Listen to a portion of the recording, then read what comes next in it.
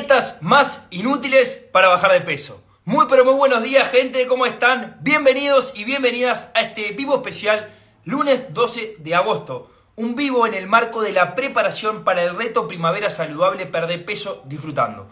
Un evento online y gratuito que comienza el 2 de septiembre, donde vamos a entender ¿Dónde estamos parados cuando hablamos de bajar de peso? ¿Cuáles son los errores que estamos cometiendo? ¿Por qué es que no lo estamos logrando? ¿Y qué dice específicamente hoy la ciencia en torno a lo que es bajar de peso de una forma efectiva con resultados que lleguen para quedarse? La ciencia ha dicho algo, sí, viene hablando hace años. El tema es que hay una brecha entre el estudio científico, la comunicación y la masividad ese famoso teléfono descompuesto que sale un estudio, sale la evidencia, se estudia y que llegue a la persona que realmente lo necesita, hay una especie de interrupción, interferencia que hace que el mensaje llegue un poco distorsionado. Raro que muchas veces esta distorsión es a favor de un negocio y no a favor de la persona. Qué raro, ¿no? ¿Por qué no se distorsiona el mensaje a favor de la persona? Todo esto lo vamos a ver dentro del reto Primavera Saludable Perder Peso Disfrutando. Si aún no te inscribiste, cuando termine este vivo podés comentar en el vivo la palabra reto, que automáticamente nosotros ya dejamos cargado un mensaje automático que te va a llegar. Cuando comentás la palabra reto, te llega el enlace para que vos puedas inscribirte al evento. En este evento también, además de la ciencia, voy a contar algo que este algo es el, lamentablemente el por qué tanto la gente me critica. Obviamente todos recibimos críticas y más en las redes sociales, que tiene que ver con contar una estrategia, contar una forma, contar un rompedero de coco que vengo teniendo hace años en torno a lo que es bajar de peso desde que me recibí, que me ha llevado a estudiar todos los días de mi vida en torno a lo que es el adelgazamiento, a contactarme con diferentes profesionales de la salud de diferentes áreas, desde el entrenamiento, de la psicología, educación, etcétera, etcétera, para poder protocolizar y empezar a bajar a tierra el mundo de las ideas al mundo de la estrategia. Porque en definitiva la estrategia siempre es mayor a la fuerza de voluntad. Esto lo vamos a ver también dentro de lo que es el reto Primavera Saludable Perder Peso Disfrutando. En una de las clases yo lo que quiero contar, y el que tenga oídos que oiga, es esto que yo vengo trabajando con mis pacientes, ya va a ser, puedo decir, hace años, que tiene que ver con la estrategia científica para lograr bajar de peso con resultados sostenibles que lleguen para quedarse. Sin sufrir en el proceso, aprendiendo a comer y pudiendo extrapolar esto a mi familia, donde haya un cambio en el proyecto de vida desde un proyecto de vida que inconscientemente a medida que pasa el tiempo me lleva a la enfermedad, a un proyecto de vida que me lleve hacia la salud, hacia la vitalidad y hacia la longevidad. No solo para mí, sino para mis generaciones futuras. Indirectamente lo voy a estar invitando a que se sumen a este movimiento que ya están haciendo, que está surgiendo en Uruguay, en América Latina y en algunos países de Europa, por ejemplo, de que vivir de una forma saludable es posible y que no es necesario sufrir, es necesario despertar y acercarnos a la ciencia. Todo esto y más lo voy a estar hablando en el reto. Digo lamentablemente que tanto me critican porque hay gente que le choca mucho la, la creencia de que esto existe, de que esto es posible. El tema es que esta información llega a muy poca gente. ¿Cuál es esa gente? La que está todos los días estudiando con la información, tratando de crecer a nivel profesional y tratando de acercarse a la información. Tuve la fortuna de ir a algunos lugares, entre ellos la Escuela de Nutrición, la Universidad de la República del Uruguay, a contarle un poco a los estudiantes qué es lo que estoy haciendo específicamente, porque creo firmemente que parte de esto es lo que se viene en materia de nutrición. La actualización científica, la integralidad, Entender de que la nutrición se aísla para estudiarla, pero no para abordarla, y que no dejamos de ser un todo cuando hablamos de alimento. Al punto que la Organización Mundial de la Salud cataloga a la obesidad y al exceso de peso como una de las patologías más complejas de abordar. Al punto que no tiene una fórmula para su tratamiento, sí tiene recomendaciones y sugerencias, que son parte de las que yo agarro para poder hacer y decir lo que estoy haciendo.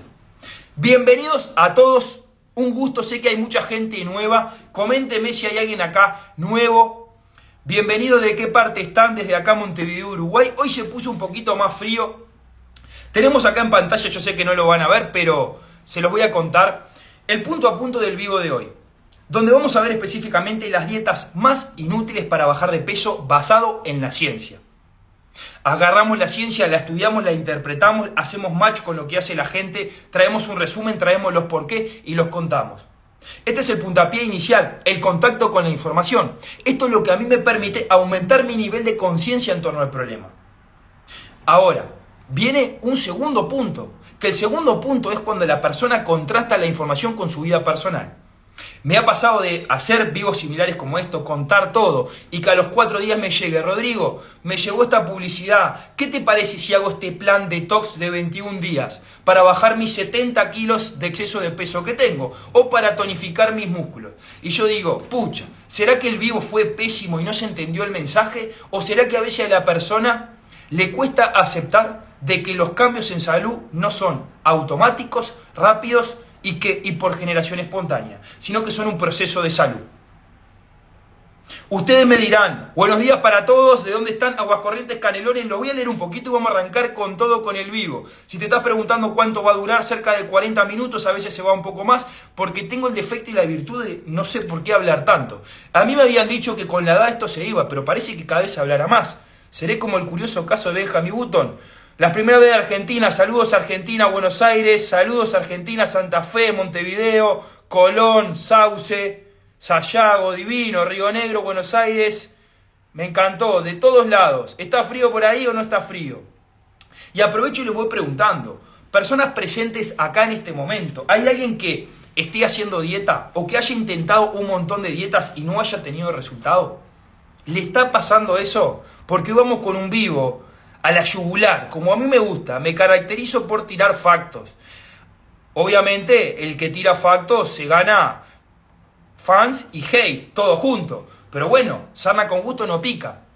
Hay una frase de Martin Luther King que dice, no hay que ponerse mal por los actos malos de la gente mala, sino por el silencio de la gente buena.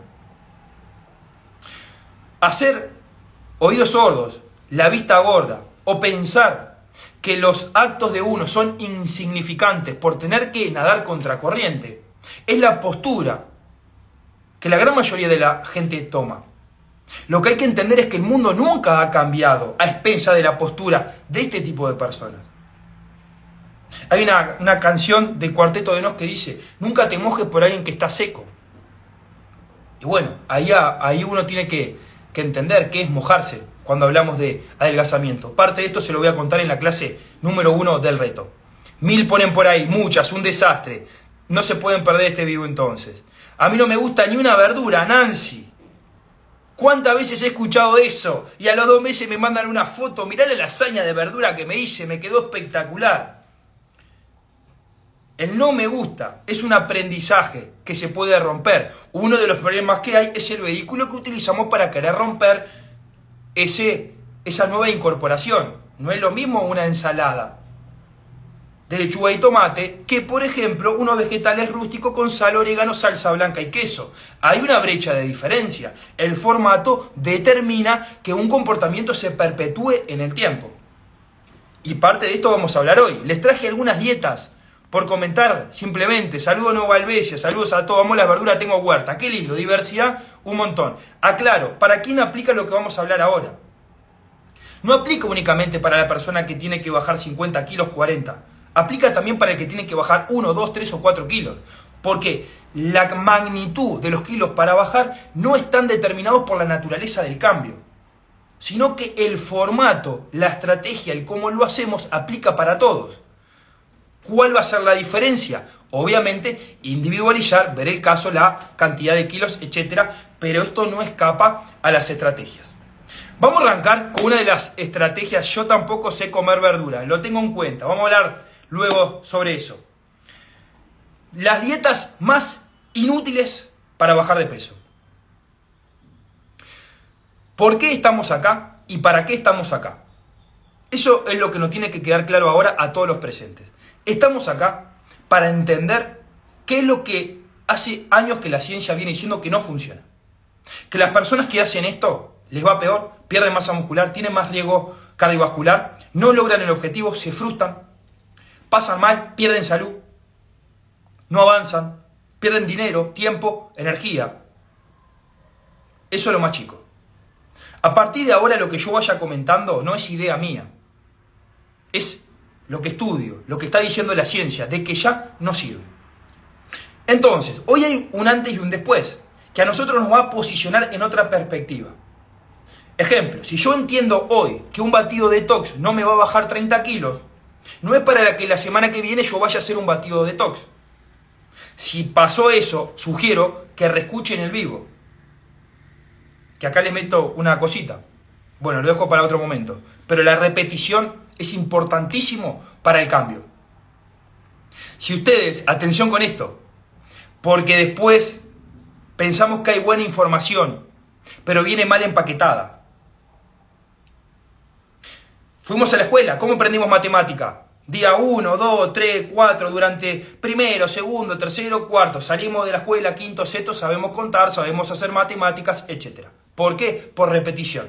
La repetición es uno de los tres componentes del cambio efectivo. ¿Qué es el cambio efectivo? Un cambio. Atención con esto, señores y señoras, porque estamos hablando de alimentación y esto implica aprendizaje. Tres componentes. Modelado. Una persona que sepa lo que hay que hacer. Ejemplo, un docente, un maestro, un profesional. Inmersión. ¿Qué es la inmersión? Sumergirme en la nueva información que yo preciso tener y saber para poder cambiar. Sin información no puedo cambiar. Ejemplo, lo que están poniendo acá, no me gustan las verduras, yo no sé cómo combinarlas. ¿Cómo una persona va a poder comer verdura? O saber cómo combinarla si no sabe ni siquiera eh, cómo hacerlo.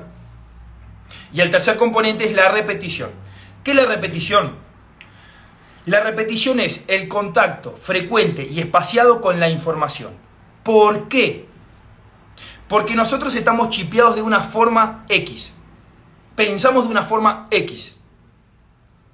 Si quisiéramos clasificar el pensamiento, tendría dos principales formatos. El pensamiento automático, que es como por ejemplo estas manos que yo estoy haciendo involuntario, que ya está incorporado en mí, y el pensamiento efectivo, el pensamiento efectivo es aquel que a mí me permite cuestionar y decir, bueno, capaz que no está tan bien esto. Pero el pensamiento efectivo necesita repetición de una nueva información que a mí me lleva al cuestionamiento. Es así como yo logro un cambio de adentro para afuera. Es por eso, lamentablemente, que me ha pasado, que yo hago este vivo, las personas entienden, escuchan, les entra, pero en dos días le sale por acá y van a hacer justamente lo que acabamos de decir que no hay que hacer. Porque se olvidaron, porque no les entró la información, porque las creencias tienen todavía suficiente fuerza y no creen. Y después por fallas en el razonamiento que son propios del ser humano. Sesgos y falacias cognitivas. Uno de los sesgos es el sesgo de confirmación. Yo tiendo a salir a buscar una solución que sea congruente, atención, con mis ideas y mis creencias. Ejemplo, si yo pienso que para bajar de peso hay que comer poco y hay que pasar hambre, adivinen qué es lo que voy a salir a buscar. Algo que me genere ese efecto. Así que sin más preámbulo vamos a ir directo a ejemplos de dietas. Ejemplos de dietas que hoy la ciencia está mostrando y diciendo que no funcionan. Y voy a poner un ejemplo para empezar. ¿Alguien hizo acá? Coménteme por favor dieta detox con batidos, con jugos, con licuados. Y si saben de alguien que precisa este vivo, por favor compártanselo, porque uno de los valores de la comunidad es el compartir, el contribuir, entender de que el conocimiento tiene valor solo si circula. Si queda en mí o queda en nosotros y no lo compartimos, se estanca. En dos días no olvidamos de lo que estamos hablando. No pone por ahí, sí, ponen. Sí. ¿Qué más? Batido, sí pone caro. Bien. No, Analía, excelente. Nos salvamos. Vamos, vamos. ¿Alguien más que haya hecho batido? No, nunca hice. Con batidos Herbalife. Bien. Yo no. Sí, yo. Bien. Yo vengo tomando un jugo de zanahoria y limón. Bien. Batido. Bien. Arrancamos. Atención. Que yo tome un batido no es un problema. El problema es cuando yo le adjudico al batido propiedades que no tienen, que a mí me lleva a modificar los objetivos nutricionales. Punto final. Lo traduzco. Los batidos que se le atribuyen propiedades, beneficios, polifenoles, antioxidantes, fibra, no son características inherentes al batido, sino los alimentos que lo contienen. Si yo mezclo en un tachito zanahoria, pepino, lechuga, alcachofa, remolacha, todo lo que quiera, lo licuo y me lo tomo. El licuado o el jugo no tiene algo diferente a que yo me lo coma por separado. Entonces, los beneficios no son del batido, los beneficios son de los alimentos que lo contienen. Ejemplo, imagínense que si yo pongo panceta, manteca, huevo crudo, etcétera, en el licuado y me lo tomo. Ese licuado no deja de ser un licuado, pero con otras propiedades porque tiene otros alimentos. Punto número uno, las propiedades son de los alimentos que lo contienen. Segundo, acá está el error. En el paraguas de atención porque esto cuando lo entendemos es hasta insólito. Es hasta insólito. Imagínense tener una mesa llena de verduras y de frutas. Decir, bueno, esto lo vamos a comer todo el día. Perfecto, estoy comiendo frutas y verduras. Ahora, como yo le cambio el formato de presentación, es decir, los junto, los licúo y los proceso, ahora mágicamente, vamos a los ancestros, las pociones, las vallas de no sé qué, mágicamente cambiaron las propiedades de lo que está presente. Ahora como viene en formato jugo es detox, es adelgazante. Perdón, ¿en qué momento se le atribuyó detox y adelgazante a algo por su cambio de presentación. ¿Qué le hizo la licuadora? ¿Qué le hizo la licuadora? Le, con las aspas le, metió una magia y hizo que se liberara un no sé cuánto y por lo tanto ahora pasa tal cosa. No, no funciona así. Y este no es el problema principal. El problema principal es el siguiente, que cuando se le cambia el formato al alimento y se le atribuyen propiedades que no son del formato, sino que son de los alimentos, se modifica la promesa, el objetivo nutricional. Yo te digo que estás tomando los batidos de detox adelgazantes. ¿En qué momento la manzana me empezó a sacar unas toxinas y me hizo adelgazar? Por un cambio de formato es hasta insólito. Esto lo vamos a dejar para otro vivo para no machacar con tanta información y tanto concepto nuevo. Veo que hay pacientes de la comunidad y gente del programa que ya está más avanzada, pero hay muchos compañeros nuevos acá y no quiero marearlos. Simplemente voy a decir el concepto. Para lograr el adelgazamiento hay una variable que está en una base de una pirámide de prioridades que es el balance calórico. ¿Cuántas calorías como? Si yo con un batido como 10.000 calorías no voy a bajar de peso, incluso puedo engordar. Ahora, si con un batido como pocas calorías, bajo de peso. ¿Por qué, Rodrigo, entonces, cuando yo tomé los batidos bajé como 3 kilos la primera semana? Porque con los batidos estabas en una deficiencia nutricional y en un déficit calórico y terminaste bajando de peso. Esto es lo tentador de los batidos, son muy bajos en calorías y constituye uno de los principales errores que cometemos a la hora de querer bajar de peso, que es buscar resultados rápidos y bajar de peso rápido. ¿Por qué? Porque el resultado funciona como un factor motivante intrínseco que a mí me alienta al cambio, me saca de la procrastinación.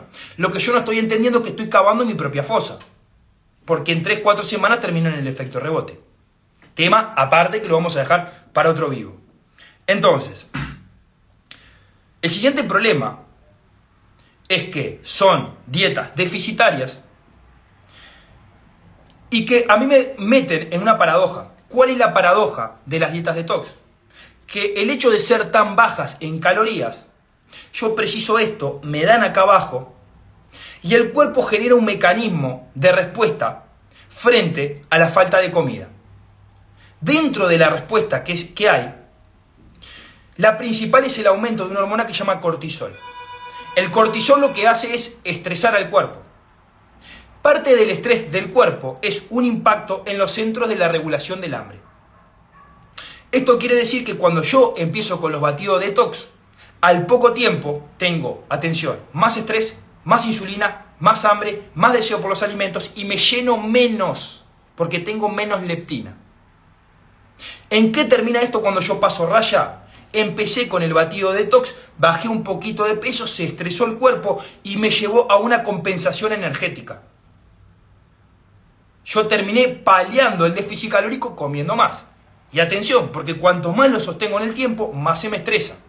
En este libro que tengo acá, que lo he comentado en otras oportunidades, se cita varias bibliografía donde se muestra que personas que hicieron una dieta muy restrictiva sostenida en el tiempo tuvieron un, daño metabólico que les duró hasta más de dos años. Ese famoso efecto rebote o ese famoso eh, estoy siempre con hambre y no me lleno por más de dos años. Un daño metabólico acarreado por estrategias que no funcionan. Esta es la razón por la cual hoy estamos haciendo un vivo de esto. Porque hay gente que está arruinando su salud por falta de información. Más marketing agresivo. Marketing agresivo. Marketing agresivo. Se nos mezcla todo y sacamos la sopa que tocó hoy. Dieta detox o la dieta milagro. La dieta milagro. El milagro es salir de ella. Ese es el verdadero milagro. Tocamos la dieta número uno. Hay más. Leo los comentarios y seguimos. Tenemos dieta cetogénica, ayuno intermitente. Tremendas visualizaciones a esta hora todavía, Rodri, tremendo. Pri, un saludo, muchas gracias. Vamos con todo. Hay que meterle, hay que seguir aumentando conciencia. Hay que seguir creando el movimiento de la conciencia y de que es posible vivir con un estilo de vida saludable, con un peso saludable sostenible, sin hacer locuras, sin pasar hambre. No es necesario. El problema es que hace tiempo que estamos haciendo lo culturalmente impuesto en sustitución de lo biológicamente necesario. Y ahí está el problema. Ahora, este proceso implica que nosotros dejemos de formar parte del problema y empecemos a formar parte de la solución. ¿Cómo? Teniendo información y eligiendo mejores estrategias. Dejar de pagar el precio con salud. Nos merecemos algo que es mucho más que seamos un número. El problema que hemos estado sufriendo por error. Esto lo vamos a seguir hablando. Lo vamos a seguir hablando. Bien, importante. Importante. Siguiente. Dietas. Cetogénica. Ayuno intermitente. Atención. ¿Alguien hizo ayuno intermitente acá? Póngame por favor. Ayuno intermitente. Qué bien, Rodri, cómo extrañaba esto a la hora del almuerzo. Steven, te mando un abrazo, vamos con todo. Y esto recién empieza. Preparación para el reto primavera saludable, perder peso disfrutando. No ponen por ahí. Yo pone Jacqueline. Bien, lograron el objetivo y hoy están felizmente con un normo peso y se terminó el problema con la alimentación. Hola Rodrigo, soy Gustavo de Tucumán. Saludos a Tucumán. Saludos a Tucumán. No ponen por ahí. Yo y me va muy bien. Bien. Sí, hice ayuno intermitente. Excelente. Bien, primero, ayuno intermitente. ¿Qué es el ayuno intermitente? Es modificar los horarios en los cuales comemos. No nos dice ni cuánto ni qué comer. Gran problema con el adelgazamiento, porque el qué y cuánto son de las dos variables más importantes para bajar de peso. La pasé re mal, ponen por ahí. No me parece algo y no lo hice. Bien, no me dio resultado. Bien, atención, atención con esto. Ayuno intermitente no me dice qué es lo que tengo que comer ni cuánto. Modifica el cuándo. Esto es lo que se conoce como el timing de las comidas. Es decir, a qué hora se come y cuándo. Pero esto no es lo más importante. Imagínense que solo comemos de las 4 a las 10 de la noche. Pero puro asado, Coca-Cola, helado, chivito, eh, nugget, doritos. Es diferente a que yo en ese horario coma frutas, verduras, legumbres, carnes, lácteos y comida mínimamente procesada. Es radicalmente diferente. Acá ya me olfatea de que el ayuno intermitente no alcanza para hacerme bajar de peso. Porque podemos hacer cualquier cosa. Es como los que dicen, la dieta vegetariana es más sana. Sí, la Coca-Cola es vegetariana, el whisky es vegetariano, el Fernet es vegetariano. Hay un factor acá que es selección de alimentos. No pude sostenerlo, pone por ahí, me mata la ansiedad. Sí, los y las entiendo. Y por eso está en este apartado hoy el ayuno intermitente. ¿Qué hizo la ciencia? Dijo, vamos a sacarnos un poco la duda con esto. Vamos a agarrar dos grupos de personas. Personas con exceso de peso que hacen ayuno intermitente, personas con exceso de peso que no hacen ayuno intermitente. Y vamos a darle a los dos la misma dieta. ¿A qué conclusión se llegó? Que independientemente del grupo, si hacían ayuno intermitente o no, la pérdida de peso era la misma si la persona comía saludable o estaba en lo que se llama déficit calórico. Segundo apartado. Los beneficios del ayuno intermitente, atención con esto. Los beneficios del ayuno intermitente vienen principalmente por la restricción calórica. ¿Qué quiere decir esto? La persona venía comiendo, vamos a hablar en uruguayo, argentino, lo que sea, comiendo horrible, muy mal, pasa a comer un poco mejor y empieza a bajar de peso. Pero no es por el ayuno intermitente, es porque hubo un cambio en la cantidad y en la calidad de lo que comía se podrán imaginar que el horario no va a cambiar una vida, sino lo que uno come. ¿Se entiende? Siguiente punto, y muy importante. Independientemente de la sostenibilidad que pueda llegar a tener ayuno intermitente, que ese es el principal problema, que lo están poniendo acá en los comentarios y en el chat, tiene que ver con lo siguiente. Atención, atención. Uno no se emborracha leyendo cómo se hace el vino. Uno se emborracha tomando vino. Uno no aprende a andar en bicicleta leyendo un manual de cómo se anda en bicicleta. Aprende a andar en bicicleta andando en bicicleta. Miren la paradoja que tiene el ayuno intermitente, que nosotros lo estamos utilizando para bajar de peso. Y lo que la persona precisa para bajar de peso es mejorar la relación con la comida, porque la tiene enfrente y no se puede controlar. Entonces, esto es un equivalente a decir, quiero empezar a andar en bicicleta, en vez de andar cinco veces por día, voy a andar una vez por día. Y dos días no voy a andar. El aprendizaje y el progreso viene con la exposición al estímulo. Cuanto menos yo como, menos chances tengo de mejorar el vínculo con la comida. Dicho sea de paso, se estudió a personas con exceso de peso que hacían ayuno intermitente y aumentó la incidencia de TCA, trastorno de la conducta alimentaria. Esto quiere decir que si una persona con exceso de peso hace ayuno intermitente, aumentan las probabilidades de que desarrolle un trastorno de la conducta alimentaria. Bulimia, anorexia nerviosa, trastorno por atracón. ¿Por qué? Porque ya partimos de un contexto fisiológico que es más complejo de una persona que no tiene exceso de peso. Tenemos más hambre, más deseo por comer, nos llenamos menos, queremos comer más alimentos ultraprocesados. Entonces, andate a irle a esta persona que no coma por 8 horas, cuando a nivel fisiológico ya tiene un condicionamiento. Fisiología, fisiología humana, el cerebro obeso, recomiendo, Luis Jiménez, alteraciones fisiológicas y metabólicas que tiene una persona cuando tiene lipoinflamación. Porque después es muy fácil decirle, ah, vos no seguiste la dieta, a vos te falta compromiso. Dentro de las resistencias que tiene una persona a bajar de peso, insulino resistencia, leptino resistencia, es decir, resistencia, vamos a ponerle la saciedad, más hambre. Hay una que es la resistencia de las catecolaminas. Dentro de las catecolaminas está la adrenalina. La adrenalina es una hormona que una de las funciones que tiene es activarnos, mantenernos despiertos. Es por eso que a la persona con exceso de peso le cuesta más. No pues porque es vaga, sino porque tiene una inhibición en los receptores de la adrenalina. Pero claro, ¿qué hacemos a nivel cultural? Dale, perezoso. ¿Te falta voluntad a vos? Sí. ¿Quién lo dice eso? La gente del entorno que no entiende nada o profesionales que no están del todo formados. No hay que culparlos a los profesionales que no están todos formados. Yo estas cosas no las aprendí en la universidad. Las aprendí después. Esto es parte de otro tema que es el estigma social que hay en torno al exceso de peso. ¿Cuál es la narrativa que cuenta la sociedad en torno a las personas con exceso de peso? Que son de las personas que a nivel moral más sufren erróneamente. Es como enojarnos con alguien porque se quebró una pierna, ah, te quebraste por tu culpa. No funciona así. Entonces, no tiene sentido poner a una persona a hacer una estrategia que le aumenta las chances de un TCA. ¿Por qué? Atención con esto. Porque el pronóstico clínico y no clínico de una persona con TCA es peor que la persona que tiene exceso de peso una persona con TCA le va a ir peor en salud, en mortalidad, en morbilidad que una persona que tiene exceso de peso. Si yo tengo 15 kilos de más, no es lo mismo que esté con una anorexia nerviosa. Si yo vivo 10 años con 10 kilos de más, no es lo mismo que yo viva 10 años con un trastorno por atracón. Y acá es cuando es imprescindible que nos hagamos un stop y pensemos lo que vamos a hacer. Porque nuestras decisiones pueden formar parte del problema. Y no es para culparnos, no es para culparnos, porque este es uno de los grandes problemas que tienen hoy las redes sociales. Circula la desinformación.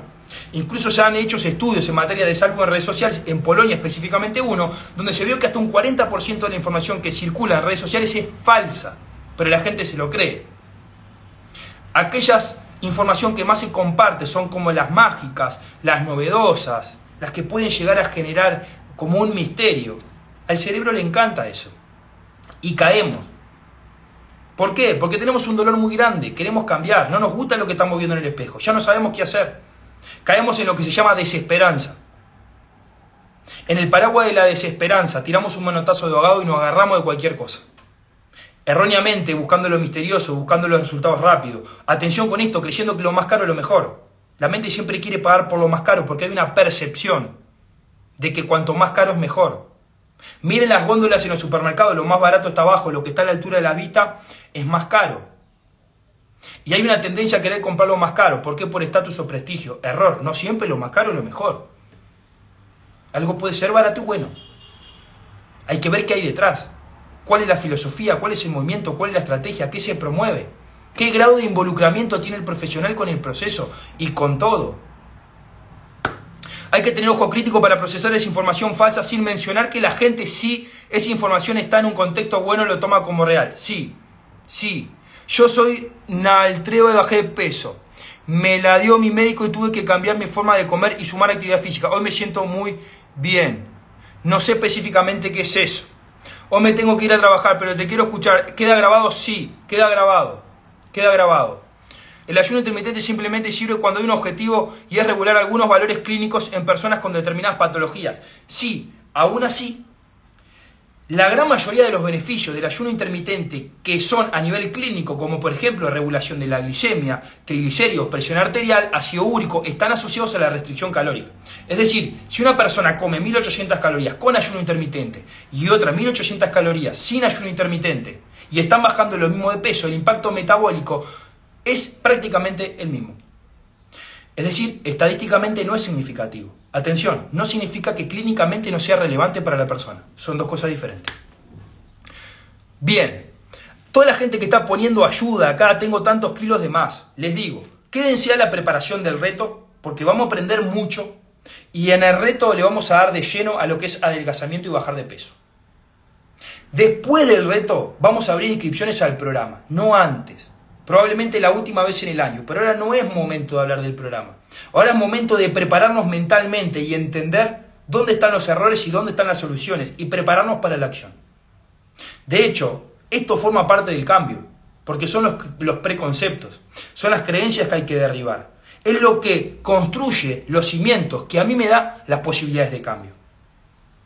No es casualidad que estemos haciendo esto. Quiero bajar de peso por mi salud. Me encantó. Me encantó. Eh, para el reto soy celíaco. Si somos celíacos, tenemos intolerancia a la lactosa, hipotiroidismo, me lo han dicho, estoy en silla de ruedas, no importa. Porque la condición no va a determinar el resultado. Los pilares de la salud son los mismos. Lo que cambian son variables más pequeñas. Ejemplo, soy celíaco, hay que modificar la selección de alimentos. Pero eso no implica que no haya que aprender. Bien, más dietas. Hay de todo acá. Hay de todo. Lo mismo pasa con la dieta cetogénica, etcétera, etcétera. Las dietas más inútiles son las que no tienen evidencia y depositan el resultado en acciones aisladas, alimentos específicos y se olvidan del resto de los pilares de la salud. Son las que distraen a la persona y se quedan con su dinero. Son las que distraen a las personas y se quedan con su dinero. Entonces, ¿en qué juego estamos jugando? ¿El adelgazamiento estará en el mundo de los negocios? ¿Por qué hay tanto de adelgazamiento? La respuesta es sí. Otro día vamos a hablar de qué pasa con una persona cuando compra un servicio de adelgazamiento. Que hay algo que se llama la recurrencia o el lifetime value, que tiene que ver con que una persona que compró algo para bajar de peso es propensa a comprar más cosas. Y si ella se mete en el ciclo de comprar cosas que no funcionan, de repente pasan 10 años y compró 14 cosas y ninguna le funcionó. Esto, atención, atención, esto tiene un grado de responsabilidad de la industria y el marketing, sí. Pero nosotros tenemos un grado de responsabilidad y es el siguiente. Hay que dejar de buscar alivio en la compra para inconscientemente decir, bueno, está, estoy haciendo algo por mí y empezar a buscar la solución. El que busque alivio y no soluciones está en problema. El alivio está dentro de la solución. Pero tengo que hacer match con las dos aristas, si no me soluciona el problema. ¿Para qué me sirve el alivio? Si en tres meses me viene de nuevo el dolor de cabeza y el problema que no lo pude resolver. Alivio, solución. Si busco alivio, me perpetúa buscar alivio. El alivio debe estar dentro de la solución. Atención. El gran problema también a la hora de las dietas inútiles no está en lo que se dice, sino en lo que no se dice cuando se dice. Yo puedo decirles a ustedes, estamos de acuerdo, ya vamos a hablar de los pilares de la salud, no los mencioné. Tres principales, vamos a mencionar. Hábitos, mentalidad y entorno. Lo vamos a ver en el reto específicamente. Dentro de los hábitos podemos hablar de alimentación, de ejercicio físico y descanso. Y dentro podemos hablar de mentalidad. Pónganme acá si están de acuerdo que la, la mente tiene algo que ver en este proceso. ¿La mente tiene algo que ver en este proceso? ¿Están de acuerdo que la mente tiene algo que ver en este proceso?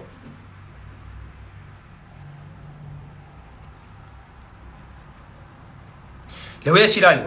Si yo hice un proceso de adelgazamiento, porque una vez me pusieron, hice cuatro veces con la clínica X, no me importa el nombre, y sigo ahí. La primera sí me funcionó, y la segunda también. Perdón, si lo hiciste cuatro veces no te funcionó nunca. Que hayas tenido un adelgazamiento por un tiempo X, eso no es funcionar. Funcionar es un cambio interior que a mí me permite lograr y sostener porque hubo un cambio en qué? En mi autoconcepto. ¿Qué es el autoconcepto? Uno de los cuatro componentes de la autoestima. Cómo yo me percibo a mí, cuáles son los hábitos y cuál es mi identidad. Hasta que yo no moldee mi identidad, voy a seguir en ese vaivén. Creo que soy gordo, creo que estoy en mantenimiento, creo que no, no, no. Pasado pisado. Yo tuve exceso de peso, sufrí bullying y tuve TCA. Ni me acuerdo de eso. Ni me acuerdo. Si no me lo dicen, ah, sí, ¿te acordás cuándo? Hubo un proceso. Es parte de lo que le quiero contar dentro de lo que es el reto. Concepto, mi identidad también está en juego. Todo es mente, mente. Bien, importante, porque esto está dentro de, las dietas inútiles. Esto está dentro de las dietas inútiles. ¿Cuál es el dentro de las dietas inútiles? Atención. Nosotros podemos hablar ahora de hábitos, de mentalidad, y yo puedo decir esto. Alguien me puede preguntar, Rodrigo, ¿cómo cambiar la mente? La mente con meditación. La mente con meditación. Pregunta, ¿puede la meditación ayudarme a mí a través de las respiraciones conscientes a mejorar mi capacidad para prestar atención en el presente y eso funcionar como un mecanismo de regulación de mis emociones? Sí, sí. Pero perdón, hay situaciones en las cuales la, la meditación está contraindicada. Ejemplo, ansiedad grave o depresión. Porque estamos obligando a meterse a la persona en el mundo interior cuando ya está bastante desordenado. Hay otras acciones más efectivas para lograr eso. Pero ¿qué es lo que sucede? Si yo estoy vendiendo meditaciones, yo lo que le voy a decir es, con las meditaciones usted puede cambiar su mente. Y la gente ¿qué hace? Se sesga porque le han apegado, le han inoculado a través de un gatillo mental que se llama anclaje, una idea con una estrategia donde se dice una verdad medias. Y la persona pega, cambiar la mente con meditación. Y, ah, casualmente la meditación es lo que tenés para ofrecerme. Qué raro, qué raro. La meditación es una estrategia que está dentro de un micro subpilar que es gestión de emociones, regulación y capacidad para prestar atención en el presente. No es una herramienta que me hace adelgazar. Atención, atención, porque como estas estrategias hay muchas más. Y no hablo de la boca para afuera, hablo de la ciencia para afuera.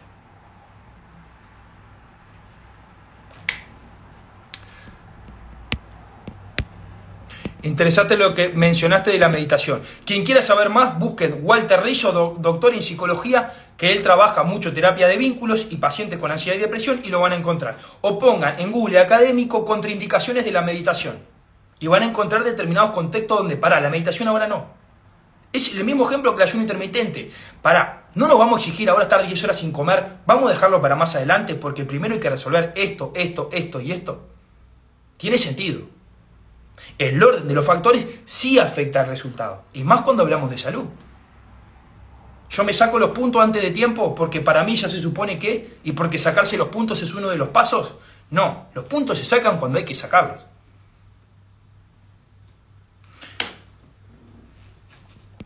Hay mucho, hay mucho para hablar, hay mucho para hablar. Salud, bajar de peso y alimentación es uno de los nichos que está más invadido por el intrusionismo profesional. Uruguay, por ejemplo, tiene problemas con eso, porque hay leyes, pero no hay regulación. Entonces cualquier persona dice cualquier cosa y le creemos. Porque no hay rigurosidad, por ahora, por ahora. Es el problema uno. Y el problema dos es la negligencia, que lo dejamos para otro capítulo. Hola, ¿podrías explicar qué es TCA? Trastornos de la conducta alimentaria. Cuando yo quiero bajar de peso, tengo exceso de peso, hago ayuno intermitente, en determinados contextos aumenta la incidencia de TCA. ¿Está? Bien, hoy tenemos mi endocrinólogo me recetó una pastilla para bajar de peso y bajé, pero tenía que cambiar mi forma de comer y sumar actividad física. Se bloqueaba bien. Esto es importantísimo lo que están trayendo, que es acciones dependientes de determinados niveles de intervención.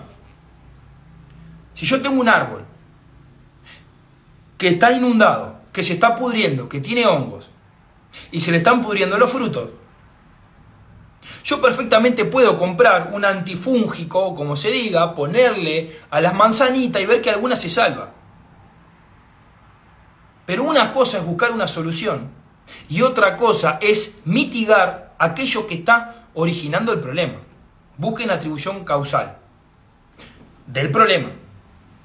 Entonces, yo me puedo pasar toda la vida tomando pastillas y un montón de cosas para mitigar es como un volcán que está en erupción. Salió en erupción, le pegamos y va para afuera. Le pegamos y va para afuera. Bueno, pero pará, ¿por qué está en erupción este volcán? Bueno, porque estamos haciendo esto, esto, esto, esto y esto. Esto se llaman pilares de la salud.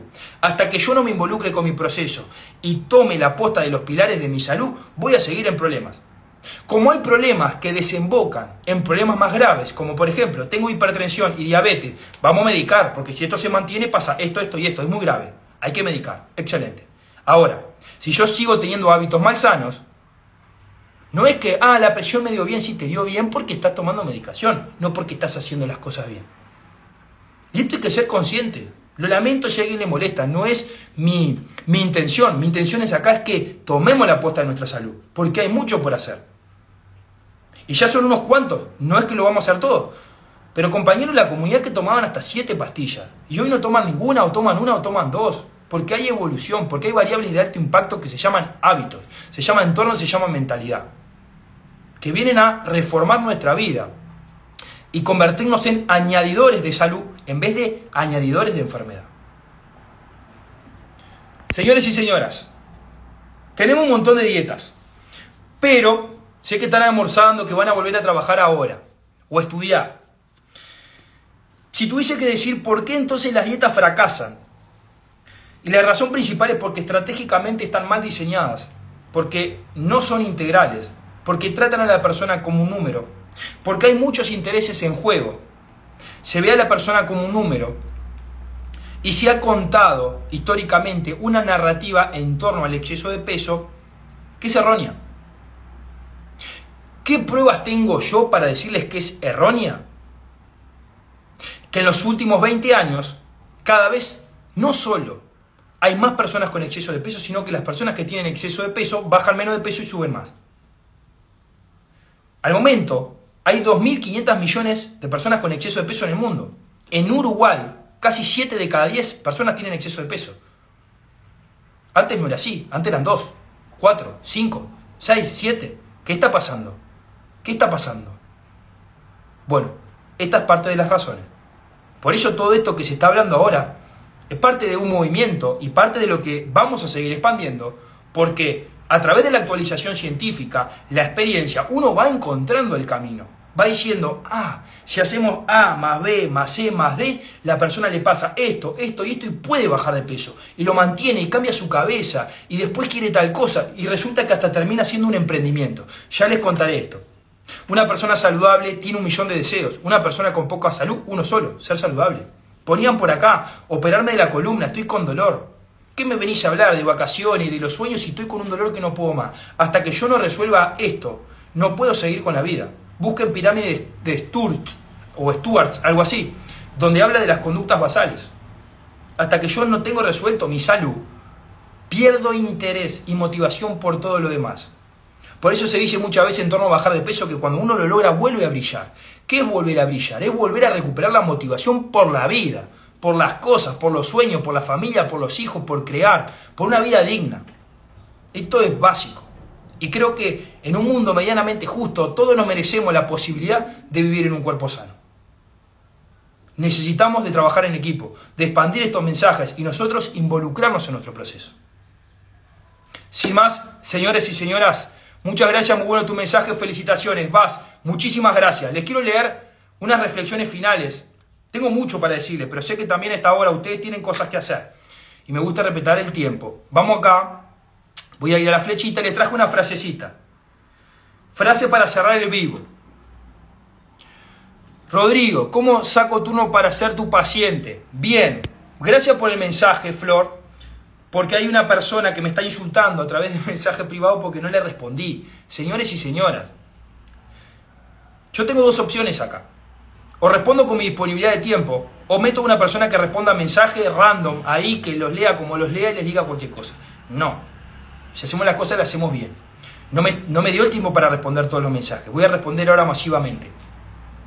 Yo ya hace años que no hago consultas, porque me di cuenta que no era el vehículo idóneo para lograr el cambio que yo quería lograr en la velocidad que yo creía que se podía lograr. Para esto, hace tiempo que diseñamos y estamos trabajando a través de un programa. Programa de adelgazamiento online. Quien quiera más información lo voy a contar después del reto. Porque abrimos inscripciones tres veces al año. En septiembre sería la última. No sé si va a ser la última, es muy probable. Quien quiera información la voy a pasar todo por ahí. En qué consiste, cómo se trabaja, cuál es el formato, cuál es el método, qué tiene, qué no tiene, todito, todito se lo voy a contar ahí. Aún así, es muy importante, yo sé que hay gente que capaz es muy consciente de lo que estamos hablando y ya se sabe todo esto. En ese caso, que tenga paciencia que le vamos a contar 2, 3, 4. El día 4 de septiembre, al final de la clase 3, le voy a contar en qué consiste el programa. De mientras los invito a que aprendamos juntos. Y quiero cerrar con estas frases para reflexionar. No hay nada más peligroso que perseguir una idea y ser la única que se tiene. La mejor forma de controlar a alguien es hacer que no sepa que está siendo controlada y piense que es libre y tome, y y tome sus propias decisiones. José Saramago. 10 gramos de prevención equivalen a un kilogramo de curación. El ser humano pasa la primera mitad de su vida arruinando la salud y la otra mitad intentando restablecerla. La libertad y la salud se asemejan. Su verdadero valor se conoce cuando nos faltan. Y la última, déjeme bajar un poquito, la tengo acá. Donde haya un árbol que plantar, plántalo tú. Donde haya un error que enmendar, enmiéndalo tú.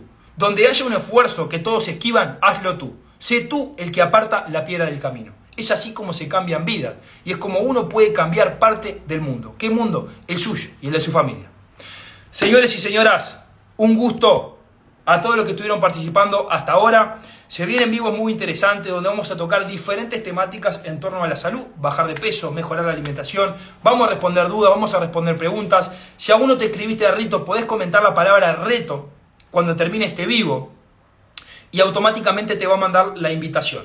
Si creen que le puede servir este vivo a alguien o que estas instancias le pueden servir, pueden compartir el vivo o compartir la invitación al evento, que yo creo que van a ser instancias muy enriquecedoras para seguir eh, ganando salud, de cómo construir un estilo de vida saludable, acercarnos a la salud y alejarnos de la enfermedad.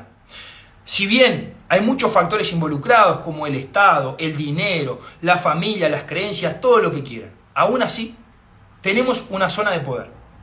La zona de poder es nuestra actitud mental frente al problema. Que yo sé que puede estar condicionada por nuestro estado. Aún así, les invito a que no se rindan y que sigamos con este ímpetu, ímpetu y convicción de que aún hay algo por hacer. Porque esta situación es reversible. Y lo vamos a ver con ciencia, evidencia y experiencia. Señores y señoras, un gusto para todos. Bienvenidos a los nuevos. Pueden comentar cuando publique el vivo, porque lo están poniendo acá. Apenas publique el vivo, comenten abajo del todo reto y les va a llegar en la publicación. Que tengan una hermosa jornada y nos vemos el próximo miércoles, 12 horas de Uruguay. Lunes, miércoles y viernes, 12 horas. Chau, chau.